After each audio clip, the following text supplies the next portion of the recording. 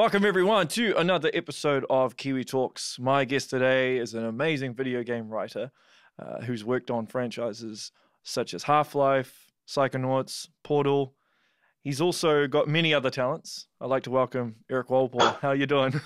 I'm good. I'm curious to hear about all these other talents that I've got. Well, didn't you used to be like a database programmer before you Yeah, were I a don't- writer? yeah, I mean, I wasn't. Yeah, yes, I was. In fact, a lot of my uh, writing, game writing, involves database programming as well. Uh, it's because that's huge piece of it. Is just there's so much stuff to keep organized. You almost have to have somebody who gets a lot of pleasure out of keeping uh, data organized to uh, to do this job because it can quickly overwhelm you. Uh, the the number of lines and making sure everything's organized. So, so you're very good at time management, I would assume, as a result. Time meant no. I mean, unless you mean, do I know the exact moment when I've procrastinated to the point where I need to start now or I need to quit? I know how to do that. Uh, but yeah, no, it usually turns out being. I actually watched the or listened to the podcast you did with Josh, and I never knew that he was talking about how much he uh, he uh, sort of. Well, he, I guess he didn't really talk about how much he procrastinates, but his time management sounded um, as bad as mine as well. So Yeah, well, I've heard that writers constantly procrastinate. That's kind of like the thing you do when you're a writer. Yeah, that is absolutely. I, I don't know any writer that we've ever worked with that just likes to roll up their sleeves and, and get going. There's always a lot of doing anything you can think of to put off uh, writing. In fact, I remember this was way back in the day working on um, Psychonauts with Tim, and a lot of times we wrote separately, but sometimes we'd sit in a room and write together. And a lot of that time was just spent uh, talking about um, uh, what was it? Uh, the next game, which was uh, shoot, I can't remember the name now. The na- the game after Psychonauts with Jack Black, uh, Brutal Legend. Yeah, yeah. Like you- we'd waste time not you know just talking about Brutal. I, I ended up not working on Brutal Legend, but you know we would- we would talk about it, it as a means to put off working on on Psychonauts. Right, right. So, in terms of the writing process for you, what would you say is the hardest part? Is it just coming up with the initial ideas? Is it like coming up with a name for a character, the actual script of it, like I mean, I, hmm. all of the above? It's all kind of tough. We try not to agonize too much over names. Um, uh, you know, uh, you can get bogged down just worrying over those. So maybe, maybe I, I'm, I'm going to say that's one of the easier parts is coming up with names. But uh, a hard part is because a lot of times, uh, especially with I have a Jay Pinkerton's my writing partner, and I've Yeah, just written with him for a long time. And I've always tended to like to write with someone, whether it was Chet or Tim or whoever. Uh, I like to do it as a group. So one of the harder things just keeping the energy up, like to just keep writing, because it's really easy to kind of get into this kind of low energy, grumpy kind of mood where nothing productive is happening. So some of it's just maintaining a, an energy level to keep everybody, you know, going. Right. And is there like additional things like Red Bull or something? No, no. Uh, it's I've heard this about other writing rooms. It usually involves you juice it by somebody will just say something horrible, like really, really bad. Not not nasty or mean to the other person, but just you're just going to make there's some jokes that aren't going to make it into the final product that just kind of they're so shocking that they just sort of juice the the rum, so to speak. Right. Uh, Makes sense. Is it true that even though that you're a writer, you hate writing? hate it. I mean, I yeah, yeah. I guess I don't like the process. When it's going well, it's fine. Or if you're together uh, and you're having good time and things are sort of rolling. Once things are rolling, you kind of get into this fugue state a little bit where time passes and you don't notice it passing but the lead up to that is is pretty painful the starting it sort of to get that and sometimes it never quite gets to that point but sometimes it does there's a i mean this is the the cliche but it's true is you like having written you don't like writing but that's true of any job i think you like having done it but not the actual process, the process of doing it, it. Yeah. yeah yeah yeah so with um with any game, how far in the process do you actually start the writing? Because I know when I spoke to Josh, he mentioned like on Portal 2 that you didn't want to come in and start writing until later within the production cycle because you don't want to write something and then it's just made completely obsolete because of design changes. Yeah, uh, I did hear Josh said that. That isn't actually 100% of the reason because that's just a part of the game making process. Is every discipline ends up doing things that just get thrown out. So, but it's not always in terms of the way we do it. It's not, or the way I like to work. It's not super product. Like the game should come first, and then we start applying a story to the game. So we only want to write as much as is helpful to push the game design along. And a lot of times that doesn't have That just doesn't make sense till later on. You know, in Portal 2, since it was a sequel, we were sort of poking around at what might be interesting early on, but the actual rolling up your sleeves and and if they're doing some tests, which they always are, a lot of times we'll throw some some dialogue in there or something just to kind of as sort of placeholder, uh, uh, just to not even to see how the dialogue works, but just to sort of grease the wheels to make it feel a little bit more like a real thing, you know, as as someone's testing it. Um, but it's usually pretty late or late. I maybe late isn't the right. Maybe halfway through production is right. when the really the really intense writing starts, and then it goes all the way through to the very end usually. So was uh, it always mapped out as like say Portal Two taking years taking place years after Portal One. How many years is it supposed to be, by the way? I I don't I am not even being. I don't know. A long time. We never really decided. It, it's a long time. You didn't have a concrete. No. Just it's a it's a it's a long time. Yeah. After. Yeah. Uh, that's the other thing. Try not to write yourself into a corner that you then are going it's going to cause problems for you because we we weren't sure if it was maybe someday there's another portal or something happens and if we say it's if it doesn't help us to say it's 100 years in the future or 10 years in the future or 1000 years in the future if there isn't a problem that that actually solves then why even say it because mm. we may want to we we may have an idea later on for the next game not that there ever will be i don't know if there ever will be a next game but where you want there to we, be a next game though don't you oh yeah i would love to yeah, yeah. i'd work on another portal in a second but i yeah, I can't do it unfortunately by myself. So I mean, I like working with. I mean, I can't like make it happen by myself. Well, you must have a bit of leverage at Valve, don't you? You can you can advocate for it. Oh, I could advocate for it. I would not gonna do not gonna help, but I could do it.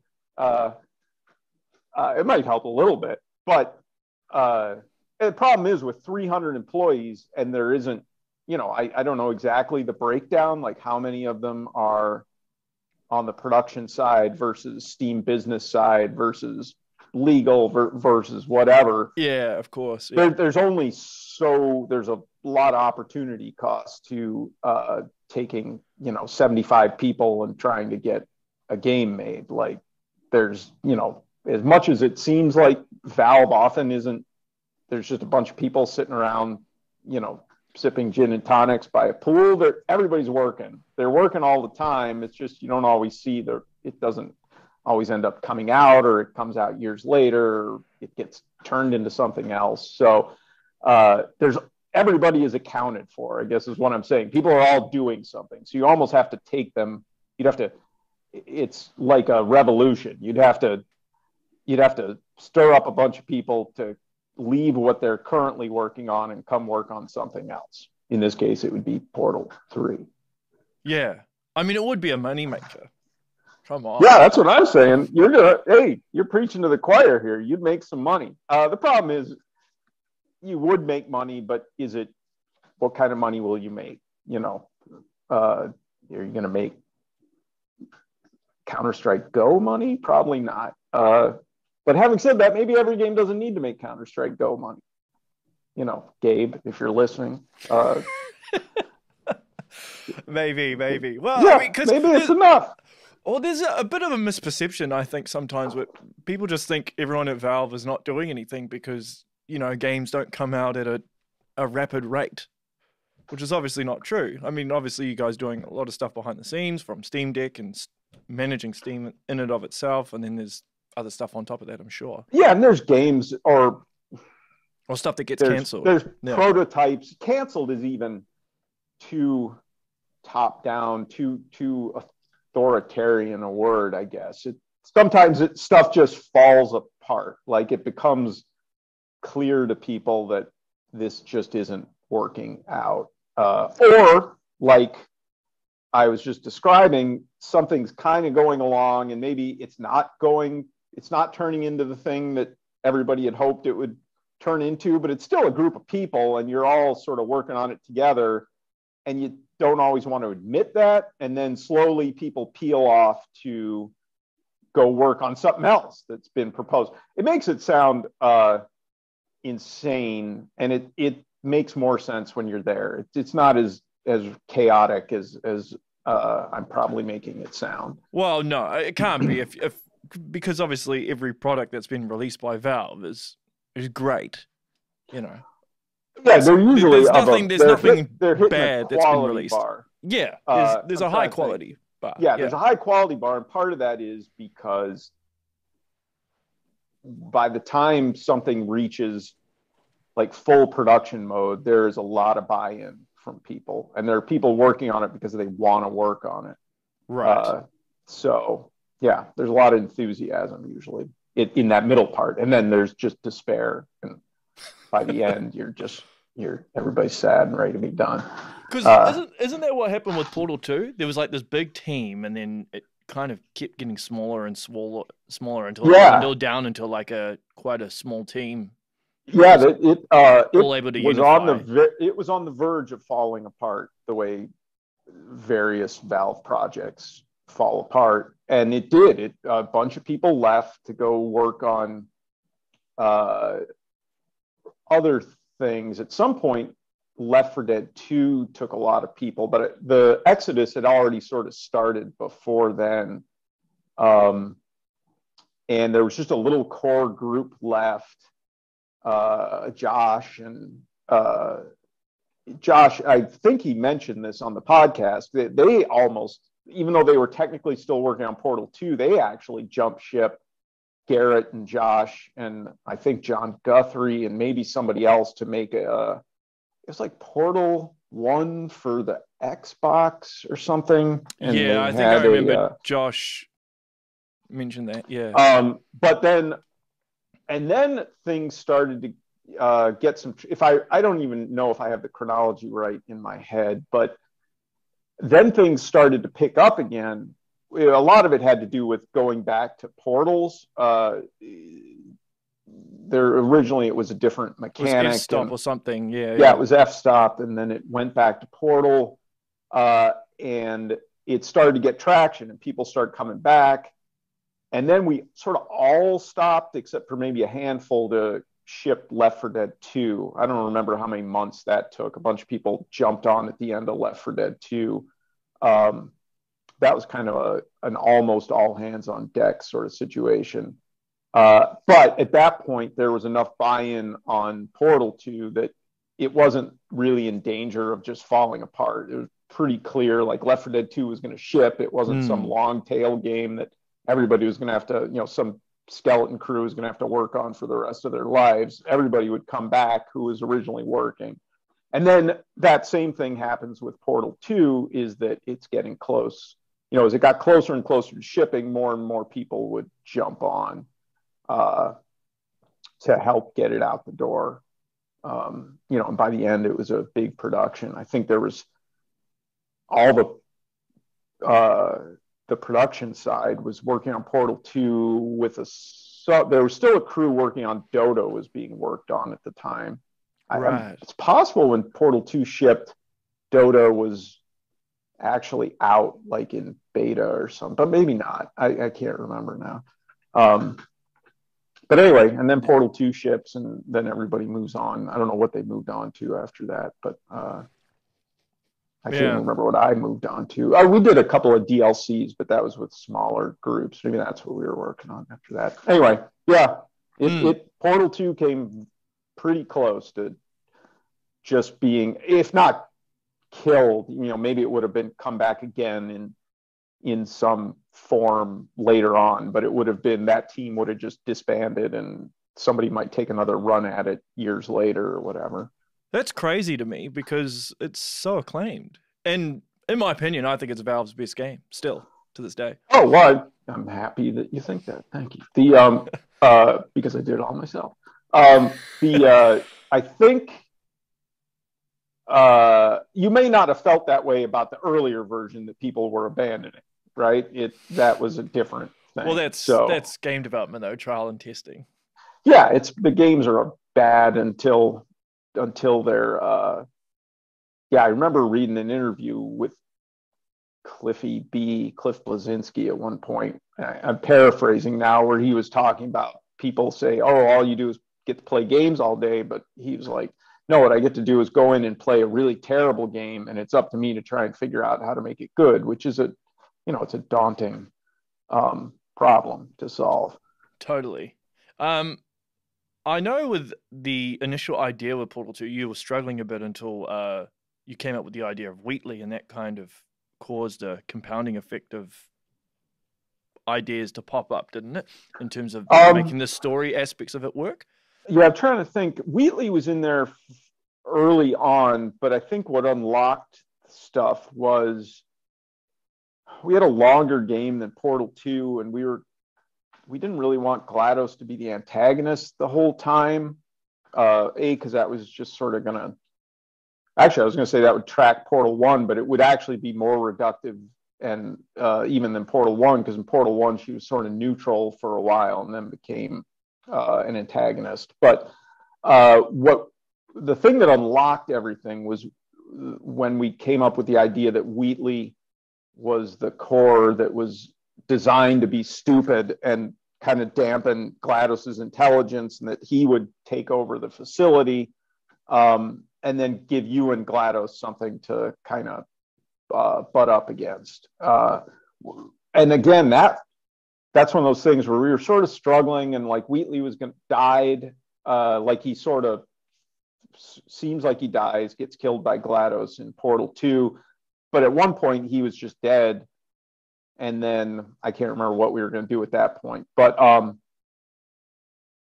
but the idea of him coming back and the intelligence dampening core like that all came in one session where we were sitting around talking about it. And it is that thing where sometimes you have an idea that i'm not going to say is so good because i mean that i pat myself on the back but is so perfect for the problem you're trying to solve or fits so well that suddenly just idea after idea starts coming out and so like a lot of the back half of the game broad strokes wise came out of you know one two or three hour session in the middle of this three year project or whatever Ah, that's fascinating stuff. In terms of the dialogue, like how long does it take you to fine tune? I mean, because, or I mean, I imagine with uh, Wheatley, for example, Stephen Merchant must have ad libbed a lot of stuff. um sort of yeah he uh, you know we obviously let uh stephen merchant ad lib what he wanted we also spent a lot of time listening to I mean, we cast him. It wasn't like some cold cast where he was just like Steve Merchant and he, uh, you know, uh, we didn't know who he was. Uh, we we spent a lot of time listening to his podcasts and stuff like that, and try and write Ah. to his voice. And so a lot of that was written. His delivery and the stop and start, uh, kind of just like the flow of his uh, speech patterns was him and he would improvise in the studio but a lot of times while it was really funny he would throw in a lot of like pop culture references and stuff that we didn't um we couldn't use because it just wasn't what we were looking for there. But it, again, much like with the writing in the studio, you want to keep the energy up as well. So him just going off and riffing on something, even if it was unusable, was was usually good just to keep everybody, you know, uh, for, doesn't sound like a lot, but these four four hours is kind of the maximum union wise recording session. But it's also four hours is a huge amount of time to be in there uh, recording dialogue. It's just totally. it's just it's really uh, you wouldn't think it would be draining and tiring uh, to do you know kind of sit in a room and and uh, both act or, or direct for four hours, but it's it's rough.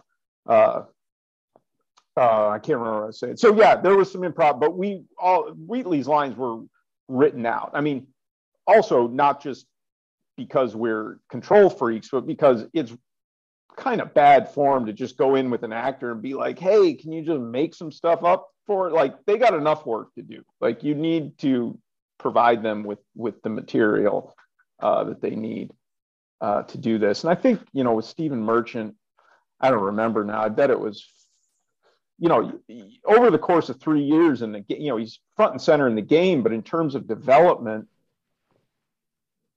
maybe we had five sessions with him of four hours each. You know, over the course of the whole thing. So you have to be, even wow. though I'm saying he's improvising and going off off script a little bit, you only get so many shots at it. Like you got to have your you, you got to pick your battles and have your stuff set up pretty well before you go in because you tend to not get a lot of opportunities um, to mess around with stuff. And it's not like putting on a play where you're going to have a lot of rehearsals and things. Which is, another thing is we try and as often as possible, like with Stephen Merchant or with uh, Nate Bargatze in uh, Desk Job, uh, we we try and write to people's a voice that's kind of natural to them. You know, we're not going to, uh, unless it's they're really, no, we, we typically try to, you know, write to something that we know they're going to be able to do, but you always find things that they do better or worse. So, you know, the, the fourth session is usually, or the, even the second session is usually a lot more productive than the first session where you're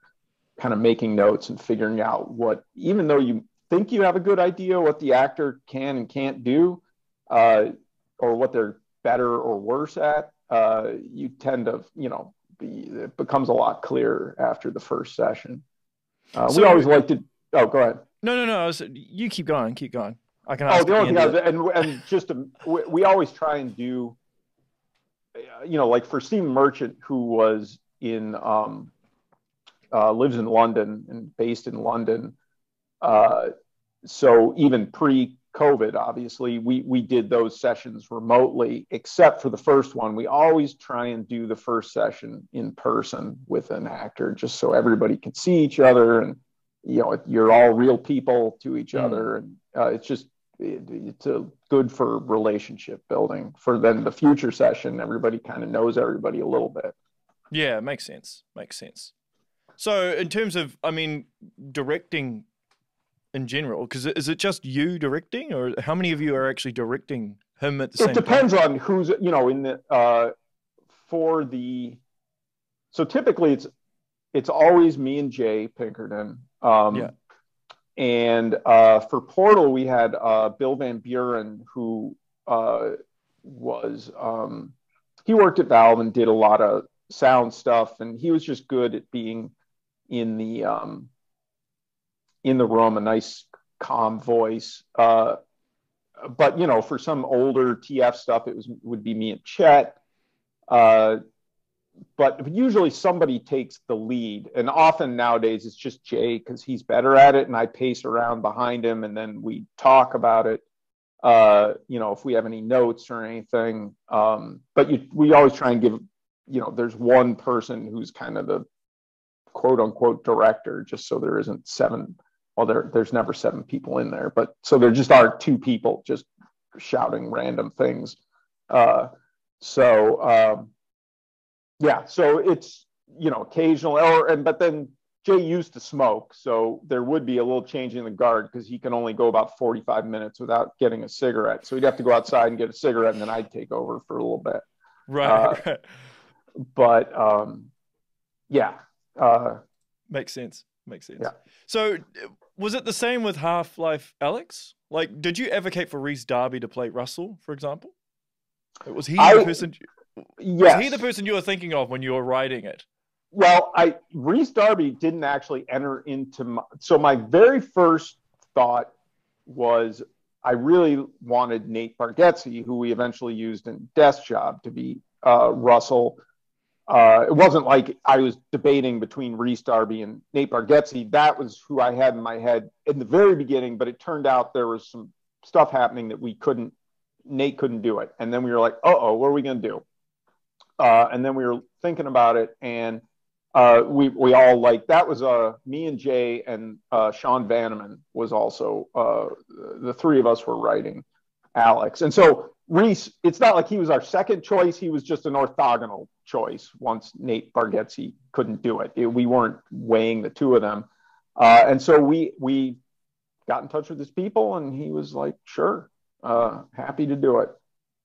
And it all worked out. It did work out. He was Yeah. uh, he was great. He was a nice guy. He was based in Los Angeles. I thought we were going to have to go to New Zealand, uh, which I've always wanted to do, but uh, he just, maybe he is based in New Zealand now. I actually think he- probably not. He seemed He to- alternates. So I think he he's mainly based in LA, but then he comes back to New Zealand. I think every now and then because obviously he does a lot of Hollywood films. So that's yeah. probably why he's based in LA. I don't know where that new show he's in is filmed, uh, but uh, it, was crazy because we Jay and I were in. I when we go to Los Angeles, we we were did all his recordings in person in Los Angeles. Maybe one we did remote, but um, uh, I never know where we are. We're in like we weren't. Are we in Burbank or I, I don't. I never have a clear picture of where we are. But anyway, we were near the hotel, just wandering around, killing time before the session, and uh, just walking down the street. I don't know, just some random area. And there, here comes Rhys Darby, just walking up towards us. Uh, we just met him on the street with his wife, uh, and he uh, had no idea, didn't remember us from the first session, so that uh, didn't know who we were. Uh, seemed real nervous when we were like, "We're just, we're, we're going to see you in an hour." Uh, but he was, um, yeah, he was great. Yeah. So how was the writing process for Half Life Alyx? Because from what it sounds like, that went through quite a substantial change Yeah, from from the initial stages to the end product. Yeah, that was a that was different than any of the stuff. You know, different and similar. Uh, different in the fact that there was a Jay and I had left Valve.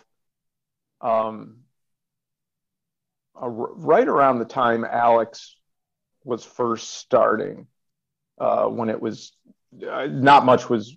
Uh, it was it was pre- in a real small formative state, and as it started going along, they brought in they hired a writer uh, at Valve, and he was working on a story, and they had a whole game based around this story.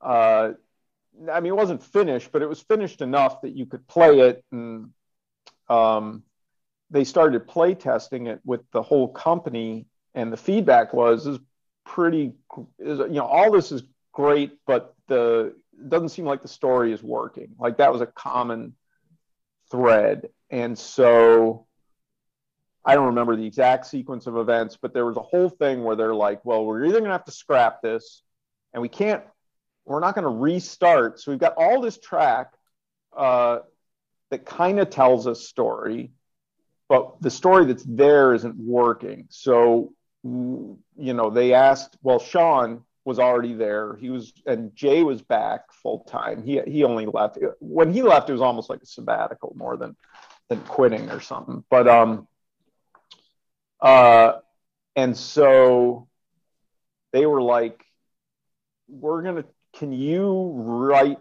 a? Can you pitch us a story?"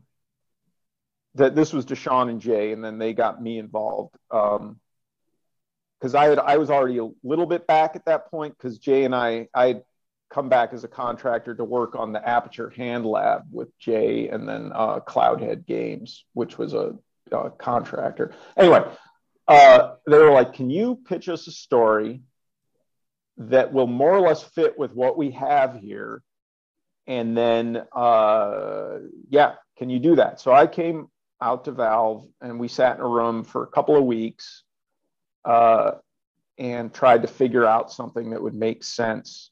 You know, it didn't have to be exact. Like we were going to have some ability to make some new cuts. You know, have cut scenes and uh, not cut scenes. You know, the Alyx thing where there's sort of a, a choreo scene. Um, you know, so there there was a budget and by budget it's not i don't mean monetary budget it's more just like people's time and so that this will ship you know this century uh, and uh, so we did it we we sat in a room we came up with something took us about two weeks and then right before i left we got up in front of the team which was big at that point it was like i want to say it was like 80 80 people or at least 80 people there and we pitched almost fully the story that ended up in the game. We made some, I mean, not like line by line, but the major beats of everything. Right. And they were like, let's do it. Uh, and so then I can't remember exactly. I feel like there was a year, it was maybe a year after that pitch meeting. I could actually look it up because since I'm a contractor, I have to account for my hours. So the nice thing is I have almost like a little diary of it, what I did every day. Um, but I want to say it was a year or a year and a half that we spent after that, uh, just getting it getting it all done. But did it stay this like from its initial stages when when you guys came on? Was all of the original story trashed, or were there little threads that still stayed? Like was that definitely ending, was the ending always the the way it was? It was not exactly the way it was, but it was it was in broad stroke. Yeah. So the broad stroke story was the G man is captured and you go and you let him out. That was, and that's the part that we kept. But there were other characters and there was some other stuff happening. Um, but the broadest stroke of we are going to start in City 17 uh, you and you know and that Alyx would be uh, that was one of the immovable objects is Alyx is the main character uh, or the viewpoint character Mm. And it's going to end in a vault where you will let the G man go.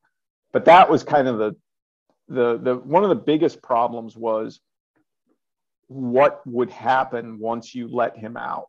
That that was a piece that people were dissatisfied with in in the form that it was in. And I don't even remember what what it was at that point. But and the problem was you've got you you kind of let Satan or God or whatever you want to call him out of prison. Like you do a big favor for for uh, Satan, and what does he give you in return? It should probably be something monumental. Uh, and so, you know, the, the ending is it that that is that ending was what we pitched. Um, and you know that was the part you we're building towards this and and in the pitch and we're like oh boy you know because it could be when you first hear it you're like uh-oh uh this but then yeah it turned out fine uh some of it was just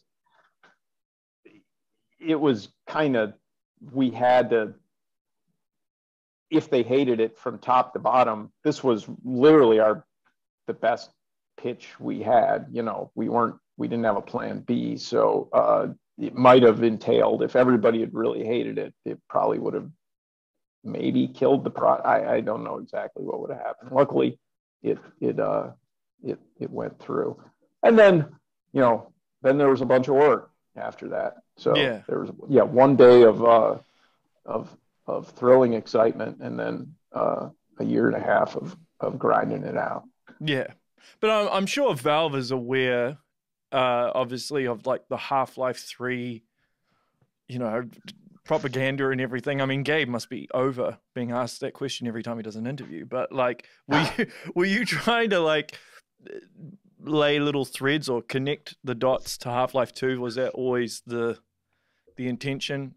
I don't know if that was always the intention. Uh, you know, it came from because we were struggling with the ending as well. I can't remember if, if I've mentioned this or not, but you know that that was a big problem. Like we cracked, a, it, to our mind, a lot of the tick-tock of getting to the vault, and then we were like, well, we're still left with this unsatisfying, you know, what happens at the end. And uh, uh, one of the artists, Jim Murray, I was coming, just riding up in an elevator with him. And uh, I'm like, I just laid out the problem briefly because it was elevator ride. And he's like, you know, what if, uh, I can't remember exactly how he phrased it, but what if the G Man saves um, Eli? I was like, oh, that's idiotic. But then I started thinking about it and I was like, that, that's actually not bad. It's like, uh, and then I went and again, uh, it was just because I was in the luck of the draw to have Jim Murray randomly spouting out an idea that I like.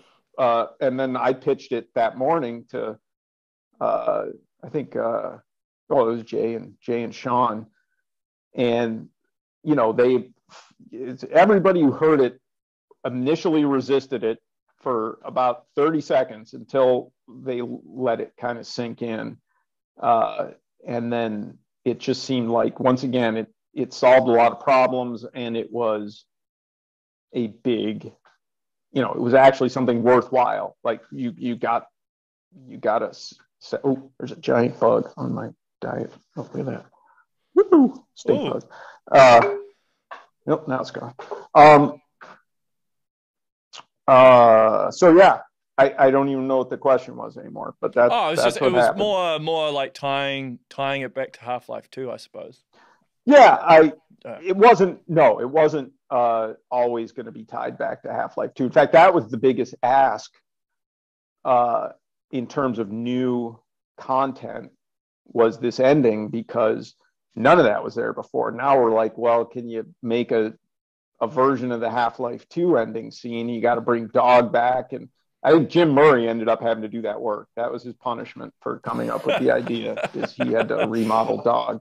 Uh, but that was a that was that did not exist other than conceptually, you know, or more than conceptually, concretely. That scene existed in Half Life Two, uh, but did not. You know, we did none of it was in Alyx uh, so people had to remake that whole thing. So yeah, that was a big ask. Wow. Just in terms of content and time. Well, it's just crazy that the genesis of it is an elevator ride. Yeah, you never know. Uh, that's good. I that's one thing that you don't get with with COVID and Zoom is just so many good things come out of people just being together and talking about things. Yeah. Uh, yeah, which is something you miss. Uh, you miss with the Zoom stuff. So what's your relationship like with Gabe? Like, would he ever sit in with like the writers at any point, or did he just let you do your thing? Because I know when I spoke to Josh, he mentioned that some of the designers are like, "Oh my gosh, like, yes, take down notes or everything he says." Yeah, I think uh, he Gabe's like involvement with the day to day production predates by some amount me even showing. I showed up a couple. Chet and I showed up together like the week that Half Life Two shipped, so it would have been yeah. like November 2004. And Gabe was already not involved in the day to day production. So I mean, he's interested, and I I'm friendly with. I'm not. Uh, I mean, everybody's a little bit scared of Gabe, but I'm not like I'm happy to have a conversation. You know, I talk to him. Uh, I, I feel like I can send him mail, email without it being weird or, you know, something like that. But um, I like talking to him. Uh, but no, he was not involved in the writing and we didn't uh, uh, like solicit his opinion on things. Um, right. You know, he's, he's doing, he's got he's a lot doing of stuff. Gabe things. Yeah. yeah he's, he's, uh, yeah, he's doing all his things uh, which don't involve uh, sitting in with me and Jay and listening to us be idiots. So yeah, he's got way more important things to do. Yeah. So with the writing, are you what writing on a laptop? Are you writing with with a pen, like, and you just got a massive stack of paper? Paper that oh, no uh, whiteboard. Like, what what do you use?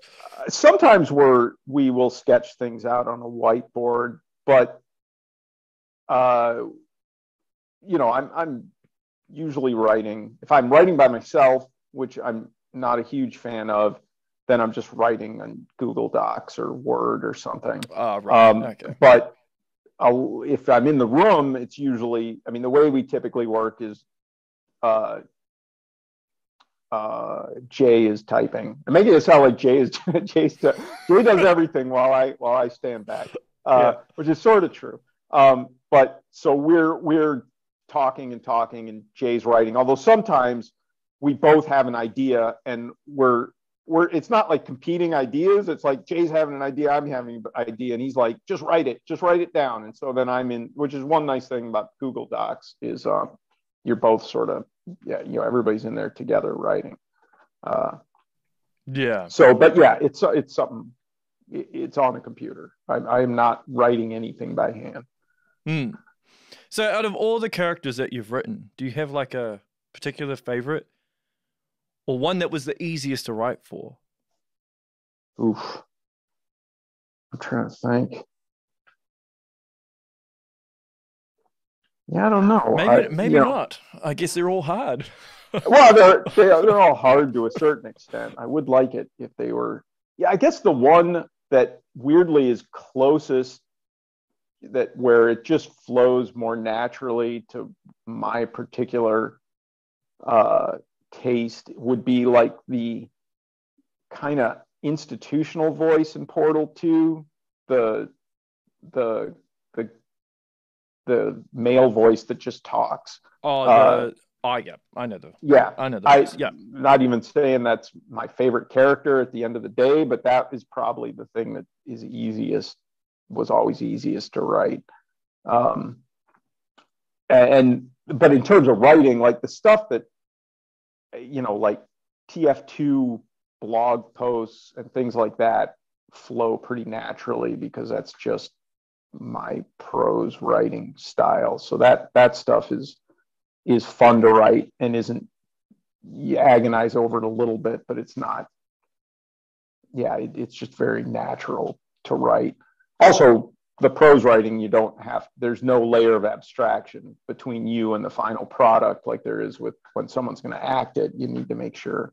There's a lot of times when you write something, even now, years and years later, we get in the studio and we're like, what were you know, no human can can say these. This is idiotic. Uh, this is just terrible. Mo- most of these sessions are us, you know, 50% of it is us apologizing to the actor for uh, making them say these words, and then we'll quickly rewrite it.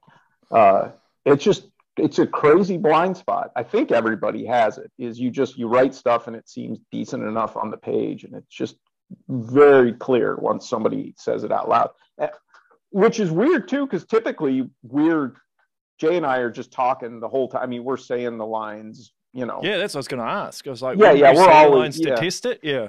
Yeah, I, you, you would think. I don't know. I can't explain it. So, but but mystery. then sometimes, but sometimes it's it's the person who says it, right, or an accent. Like a certain accent can maybe make something or a piece of dialogue sound way cooler or better than it would if if a certain other accent is used. There's just also words that actors have just never said or don't say well. Like Nate Bargatze crushed it. Loved him. Loved working with him. But turret was just a word he had never said, which is unfortunate because turret is something that's a central component of Aperture Desk Job. So we just kind of had to work through that. Um, and some uh, stuff we do with Portal has a convoluted style that has some where we will have to work a line a little bit more because we want you to say these ridiculous words, you know, semi-technical stuff, but we want you to say it with some authority, like you you're not, you know, this isn't the first time you've ever these words have ever, uh, you know, left your mouth or entered your head. So uh, in those cases, that that is an acting problem that we will solve as opposed to just rewriting rewriting it. Right. That makes perfect sense, though. But it's a, it's, it's, I suppose it's a good good challenge to have. I mean, do you do you do you get to a point now where if you're playing a game, or even if you're watching a film, actually, where you're kind of f- zoning in or honing in on the on the writing? I mean, I guess everybody is. I, I mean, not not so so. I mean, I, I have taste just like anybody. If I'm watching something and I don't like it, you know, I I I just don't like it. But I, I guess more of a thing would be. I think about how much work it took to do something. Like I I specifically remember playing God of War and really enjoying it, but while you know during the week that I spent playing God of War, I was having these stress dreams because it was thinking about the pain it must have taken to make that game because it's all so huge and polished and uh, it must have just been um, so happy I, I had nothing to do with that game uh, but also you know i enjoyed playing it uh, so I guess that's more the thing is I just look at stuff and think about how much work it must have been to do it. Mm. So how do you stay uh, stress free? I don't. I'm stressed all the time. I mean, I'm not super stressed now because I'm not working. Yeah, uh, yeah. But um, even during desk job, which was fairly low stakes, low stress, I was telling Josh, I uh, you know, Josh and I have a Zoom call maybe once a week or something, and I'm like, I'm right back in it. Like I'm having stress dreams, and it's stressful. Uh, but that's, I mean, that's just, I, you know, before when I was doing database work, that was stressful too. I, anybody, if you have some amount of pride or you care about what you're doing, you know, it's going to be stressful to do it. I think. But yeah, I suppose particularly in the case where you've got millions of people that are going to see your work or witness. Yeah, I guess there's there's that yeah. too. There there is that. Although that that's I I wonder sometimes though because I I because I was almost as stressed out doing the database stuff, which only you know the client and then you know the people you work with would see, and that was the more stressful part for me. Always was letting down those because the millions of people out there are sort of it's a weird abstraction you know it's just kind of like mm, you, you do what you do. I mean, I, I want it to be well received, but you're more like trying to not let down the people that you're working with. Uh, you want to do a good job. Yeah, which is fair enough. So, in terms of your writing, if you had to critique your own writing, would you like what would be the thing you'd like to improve most on?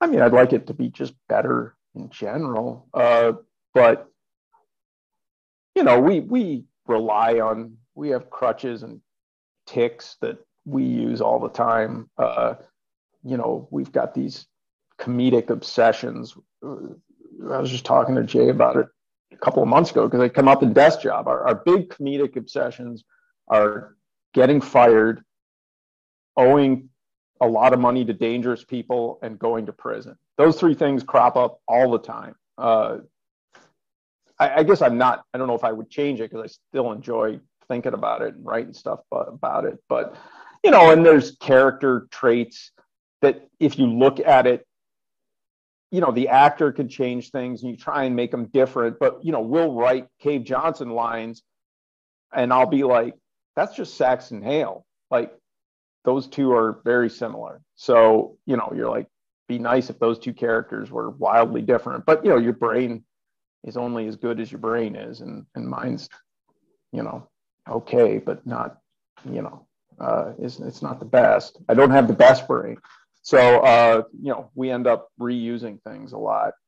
Um, you know, and anything comes out of your own head is typically not startlingly new to you, right? Like it's kind of, although if you go back and revisit something you did 15 or 20 years ago, it suddenly seems like something somebody else did. And you're like, wow, I wish I was that good still, because uh, this stuff is awesome.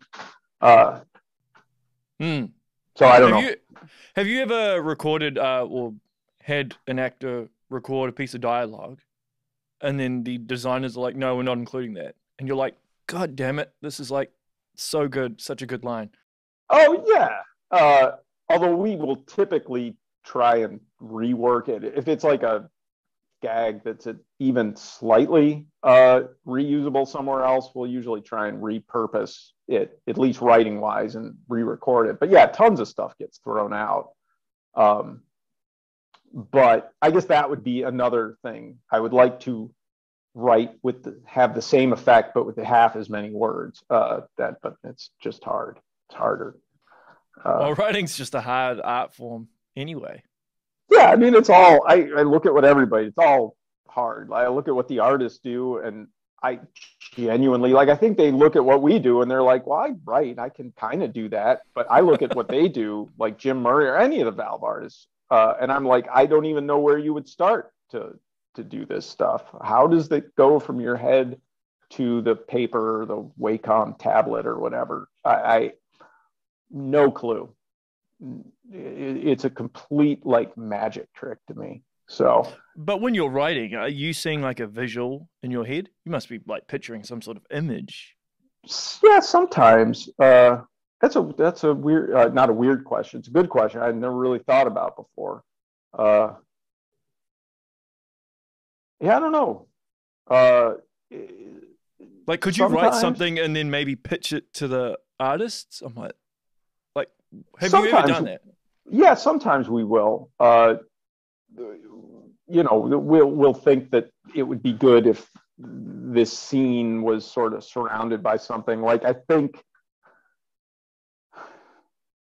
I I want to say that, but I don't know that this is actually the case, but let's just pretend it is for the moment. I think like at the end of Aperture Desk Job, you go up into Cave's office and he's just a big cement head. And I think that's something Jay and I came up with, and then we pitched to the artist. Um, so there was something that was, you know, gags that are sort of visual along with, you know, just just the words. Uh, but if that wasn't the case there, if one of the artists came up with the head thing, there's there are other cases like that. That's an example of something that that where we might come up with the visuals. Um, and we, and again, this is Jay more than me. We do these Team Fortress comics, and Jay's a much. I, am not a comic guy at all, uh, but Jay's a huge comic fan, and so he very like we'll write it together and then he panels them out using just like clip art and stuff. And he will panel it out in a general way for the artist to be like here's kind of what i'm thinking for this panel and this panel and this panel. So there's a much more direct connection to the stuff we do with comics uh, in terms of uh, describing visually what what's going to happen ah that's cool that's cool that yeah, you're able to convey it like because well, you know yeah. how some people they're not able to necessarily convey in their yeah. head. Jay's a good what uh, they want. Yeah, want he's a do. good. He's not an artist, but he's a good designer. Like he's actually really good. Like he knows Photoshop better than a lot of the artists do. He's good at just general. I don't know what you call it, just design. But he's also really good at paneling out the um, the comics. He know, just knows a lot about comics. I've learned a lot about how comics work because I literally knew nothing about how comics work uh, before we started doing comics. Yeah. So, what was your involvement with the Steam Deck then? What did you do? Was it like just programming stuff? Oh, with Steam Deck? Yeah. No, no, we, we just, I mean, Aperture, Aperture Desk Job was part of the Steam Deck. Oh, right. So that okay, was all okay. we did. Yeah. Okay. That, I had nothing to do with any, any of the rest of it.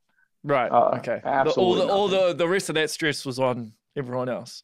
yeah, yeah, yeah. Yeah, yeah. Uh, that's why you know Desk Job was free. It came w- with the Steam Deck. Like it, that's why there should have been no stress. But you want it to be great. Like you want to be like this needs to be awesome. So let's let's try to make it really awesome. Uh, yeah, yeah.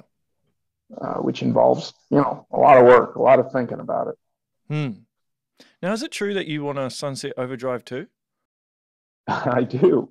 I like Sunset. Yeah, I love Sunset Overdrive. Uh, Sure. I, I don't think I'm ever going to get it, but I would like it. Uh, you know people at Microsoft, don't you? I don't. I don't. I don't. I know people who know people at Microsoft. I'm, I'm one degree of separation uh, away from them, but I, yeah, I don't know anybody at Microsoft. The gaming industry is actually quite small, though, in terms of the people that actually work within it. I would think. I, yeah, it like, feels it's, like I've met a lot of people. Still small. Yeah. Yeah. Like it's or, interconnected. It's small in the sense that if I haven't met everybody, which I haven't, um, I uh, I could probably Find I a know way to somebody who knows them. Like you Yeah, could yeah. probably you're a couple days away from getting in contact with almost anybody. I mean, there's probably people in maybe the Japanese end of the business that it would be harder to get in contact with. But um, yeah. uh, but yeah, it's small in that sense. Uh, and I think you know you never. There always seems to be. Once you're established to a certain amount, I don't know what it would take for you to be like drummed out of the industry entirely. So because you know they always need people. Uh, so it's small in in that sense. Have you have you taken on like more of a contractor role and not a permanent staff member, primarily to just kind of take a step back, so you can kind Um, of That was the original thing. We just needed uh, because my wife needed to, her uh, needs needed to uh, take care of her mom, and so we needed to move back to Cleveland, and it was kind of the right time. But there's also just some legal stuff with Valve where y to be a full time employee, it's just a you need to live in Washington State. in Washington. Yeah, uh, uh, that might change it- though, that- won't it? Hmm? Oh, it, That it might change, Might. I, I don't know what I don't know the whole reasoning behind it. Uh, but I also do. I, it's nice to just be able to kind of drop in when there's something that's interesting, uh, and then not uh, be there if I don't have to be there or feel like I need to do something. You know, fill my day if there's nothing going on that I really want to work on. Yeah. Um, Well, you are Yeah. a trooper. Um, I mean, Josh mentioned to me that like you were you had a child while while Portal, Portal Two was shipping. Like you're in the middle Yeah. of like a child we had about our son- Yeah, our son was born almost a year to the day before Portal 2 shipped. So that last year was uh Oh my god. I, I do remember that. I was actually one thing I was giving Josh some crap about it. Uh he kind of made it sound like I was just storming around the house in my wife beater with a cigarette dangling out of my mouth, telling my wife that this is how things are gonna be. It was a discussion. We were like, because I was at the time, I was like, look, we can and this isn't a passive aggressive like we need to make a decision here like either if i'm going to finish portal 2 i think it'll be good for us ultimately uh, but i'm to you, you know she knows me uh, we've been together for 30 years or whatever uh, i'm to have to commit to this fully because it's a ton of work. And uh, you know she was she quit her job when you know the last couple of months of her pregnancy and thanks to valve she didn't have to work anymore if she didn't want to. But i was like we can pack it up right now and this would actually be fine It'd be a relief. Uh, i like finishing things but another great pleasure of mine is walking away from things when in the middle of things being really difficult. Uh, i was like we can go back to minnesota. You can get a nursing job there. You know we've saved up because i always think that we're gonna i'm gonna get fired any second. So we we're pretty frugal. We had a bunch of money saved. We could live for the first year or two of Jack's life, and then I'm going to be unemployable because I have no real marketable skills outside this weird little niche. But you're she's a nurse. I'll stay home with Jack, and you can, you know, you can work. But yeah, we she no, it was uh, she we we made the decision that that first year, and it was it turns out to be a good move. That first year, I don't know if you have any kids, but it's a blur. You won't remember it anyway. Um, Not yet, but I will soon Yeah. enough. So uh, yeah. You will not remember that first year. Uh, and then once Portal 2 shipped, it was never that intense again. Uh, okay. So, uh, and it afforded us the ability to, you know, she could stay home. She didn't want to have a job. She didn't have to have a job. So, uh, yeah, it's all good. She does not, it, it was a mutual decision, mutually Okay. agreed upon. So yeah, mutually agreed. Even though it was hard. Okay. Good. Good It was clarification.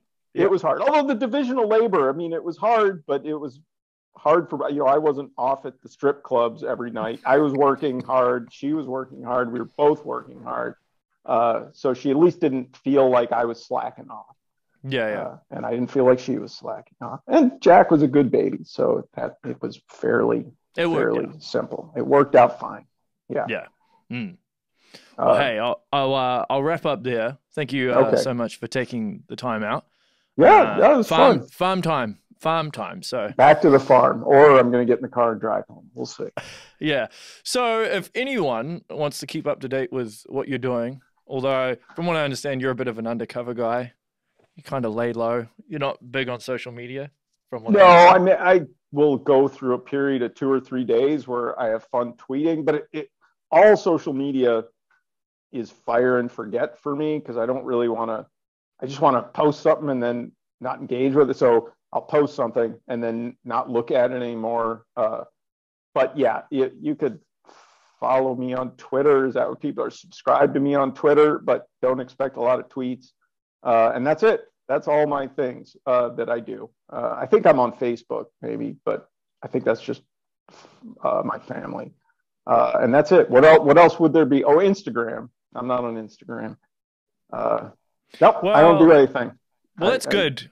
I actually think uh, people that aren't on social media tend to have a a clearer mind on things, or the value system tends to be different usually because they're spending their time doing other things as opposed to Yeah, I getting, don't want to make it sound like I'm on social like, media. Yeah, I, I I'm talking, I'm sound like talking, and I'm- I do this. So Okay, I don't, I don't, I'm not using my time, not, uh, you know, working in a soup kitchen or anything with my social media time. I'm playing Slay the Spire probably, but uh, I, uh, yeah, I, I, I'm not. I don't want to make it sound like I'm better than anybody who's on social media. It's just not as um, I don't get a ton of satisfaction out of it. Mm.